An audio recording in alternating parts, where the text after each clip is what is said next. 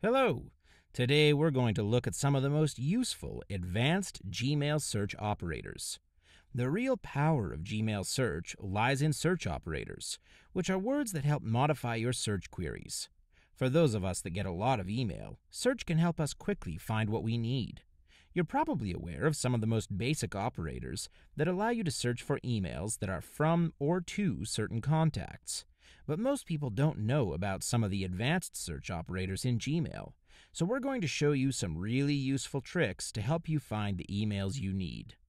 Gmail allows Boolean search operators in its search queries. Now, if you're not familiar with Boolean operators, that's okay, because we're going to explain them along the way. So let's start with the OR Boolean operator. OR lets you connect two commands, so either command can be true in your results. We're also going to use some parentheses, which, as you probably already know, are used to separate and group commands. To demonstrate, we're going to use a cool Gmail operator that allows you to search for an email by its state, whether that be starred, unread, important, you get the idea.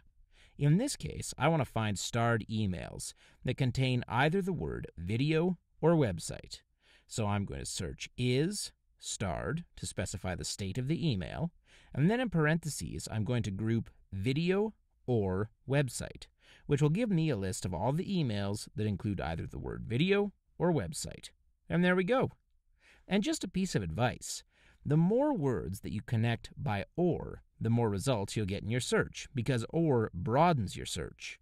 The inverse Boolean operator to OR is AND, so if OR broadens your search, AND restricts it.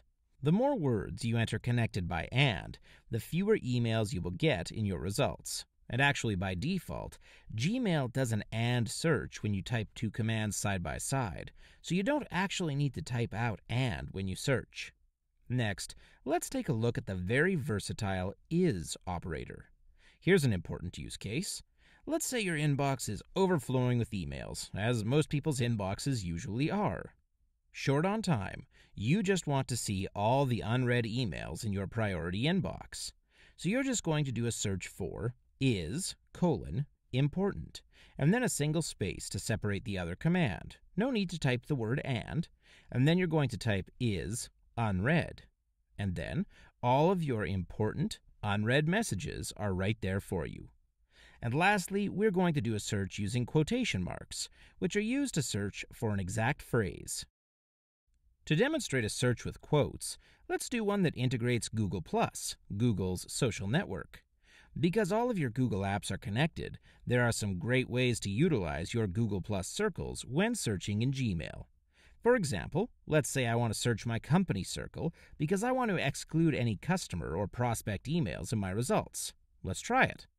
So I'm going to search within my company circle like this, and then I want to search for all the emails that contain the phrase access to our beta. And as you can see, I found the emails I was looking for within my company's circle. And you can do this with any Google Plus circle. There you have it. I think you'll be able to find your emails much easier using these operators.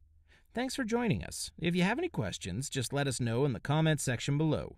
Have a great day.